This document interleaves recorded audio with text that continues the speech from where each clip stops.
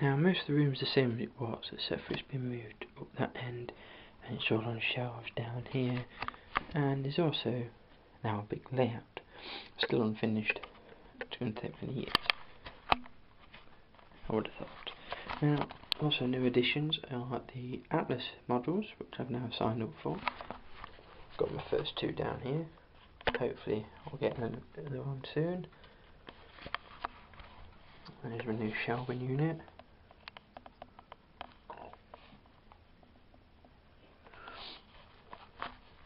And come over here. There's the old display unit we had. Goes into the cupboards. And on the shelf. With the folders. And to the chest we've got all the old clothes, even the cotton banner. And the special Mark Dixon t-shirt, the old calendar from last year. And something very special which if you look out from the road in the back of a car, it'll be me. I had them specially made. I have my spotter number on it.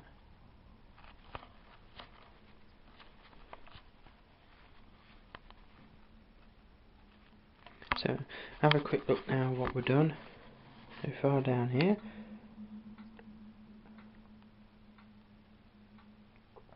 Still in work in progress as I've said.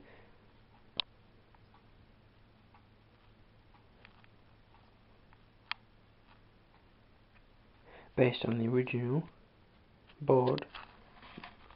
And here's a clip.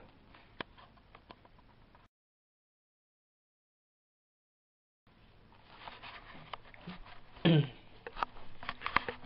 go down here for you. We've got your office block with your car park for staff and visitors. It's a chilled depot chilled ambient. This depot is so it's only small it has overnight parking bays for vehicles. And just outside of the yard, you've got builders merchant and a for sale unit. And opposite that, on the other side of the road, in, which is a converted old Stobart depot, I've uh, made it a service department where the vehicles are maintained and whatever. Next to that we have local garage. Again, still in working, needs work on it. As the forecourt's not done. Over the back there we have a fabrication company and I repainted a truck to put the name on it with a Stobart delivered to it. In front where these barriers are it's going to be row houses in front or shops, I haven't decided yet. And next to the fabrication business is a burnt out hotel which has been burnt out many years and now overgrown with trees.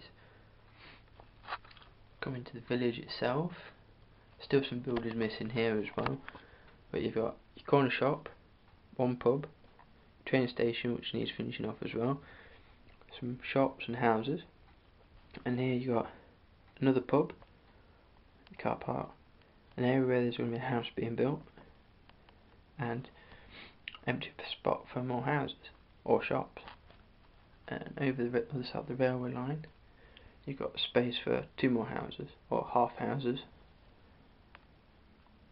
and you've got some sort of warehouse thing there.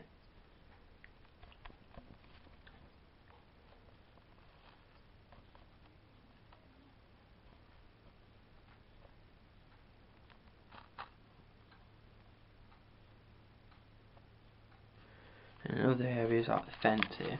It's not done 100% yet. It's been put up, but eventually I will go back and put like, posts down every so often through it to say it looks more realistic. Just something that can go back to time and time again.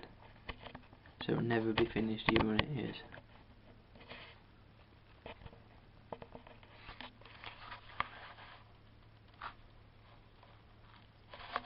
On the shelf up here, above it you have books and, cup, and the clock, model, mouse mat And this here is a birthday card I had from them, from Stobart themselves. Congratulate me on turning 21. And on top of the uh, depot, I've got my only version of the rugby trucks. We'll be getting more, and funds allow me.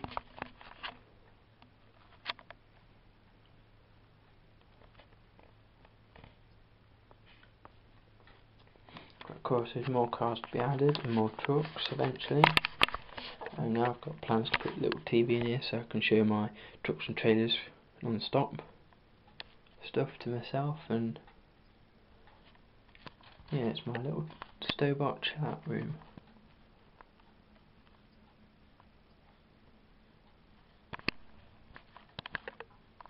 Or will be when it is done.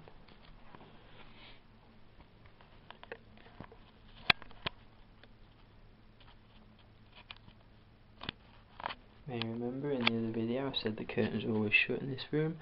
Uh, that keeps light out, the sunlight, so the only means of light is Stobart lamp shades. So have a closer look on these shelves then. The back we've got the, the uh, forklift truck. Cost me £6 from a model fair. They're very rare to get hold of. And you've got first Atlas editions Emma Jade. And you've got Karen Patricia. And you've got a uh, very old Volvo. Number plate Eddie. And you've got another Volvo, which is the first um, shipping container. Then you've got the Atlas model that I bought from the Stobart catalogue, which is actually an Oxford diecast model. I call the Atlas ones, and this is Teletubby, which is a very good model indeed. The only thing it is missing is a pop-out TV. Next shelf down, we've got the old American off UG, some Pride, and Earlham. And above it, I've got an UG box one in the box because it's worth more. And then shelf down, got another thing I bought from the model fair, the original motorway set. And from the other sets, which are on the model itself of fuel tanker and stuff, We've got red working stuff. And next to that, we've got some more stuff in the box, and these feature also on the model or on the shelves. And that shelf down is a bit more empty. We've got another Emma Jade, which someone gave to me as a present. That one has been kept in the box, never opened. Moving along, you've got Earlham in a box. Another old Volvo, but this time with the flags on it. And a shipping new Stobart rail, Corgi.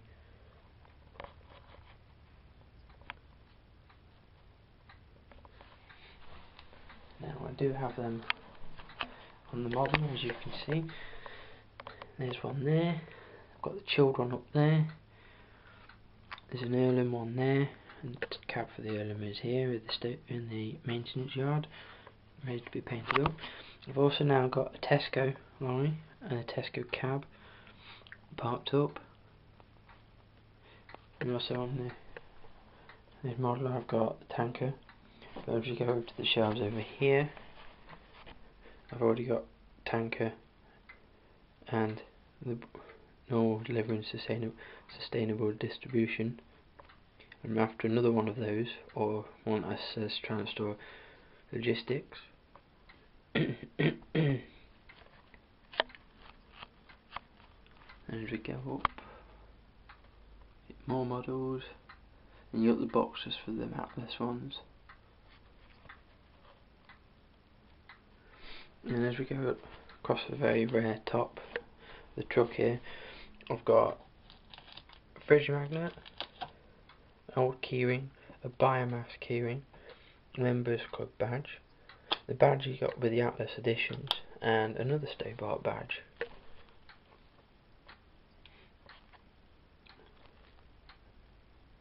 and beyond that we've got the Atlas notebook I'm trying to get hold of another one which I will use in my car so I can jot down the names of one's on spot. And next to that we've got a trackside Lledo. Lledo, whatever you call it, models. You got Eddie Stobart and underneath that United Glass Eddie Stobart. Going along here, you've got your door sticker. It has been used, so it's not as good as it would be. And down a bit. In the cup, you've got the old ruler of the road ruler. Very old pen. And other pens. And a pencil. I've got the original pencil case and some pens. And of course, you've got the from Atlas Editions um, coasters. I've got the original Steady Eddie. I seem to have got three of them for some reason. Steady. And there's a poster about joining the fan club.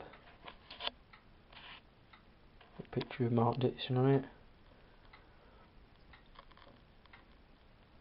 And I've got some depot people. My second lot, because most of the lot are on the, the yard here. Some of them are actually quite well worn. That's why I bought another box.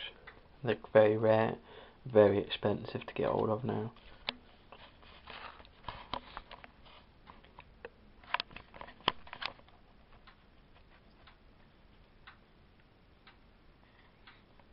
That you can hear ticking away is my original clock which started Stobart home to make them when I posted this picture in one year. As I've already told you in the previous videos.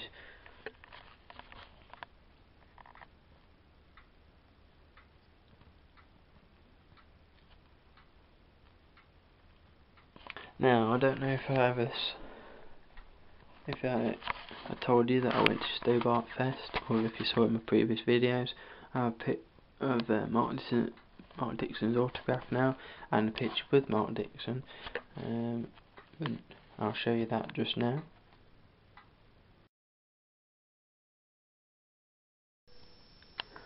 Also from Stobart Fest I got this top, which is like the driver's one.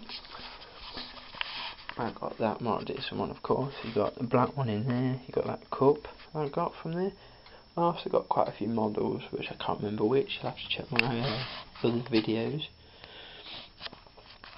So yeah, I'll show you a bit more slideshow of photos here and there around the place. You might notice the buildings have moved around on each photo. I wanna be an Eddie Stobart driver.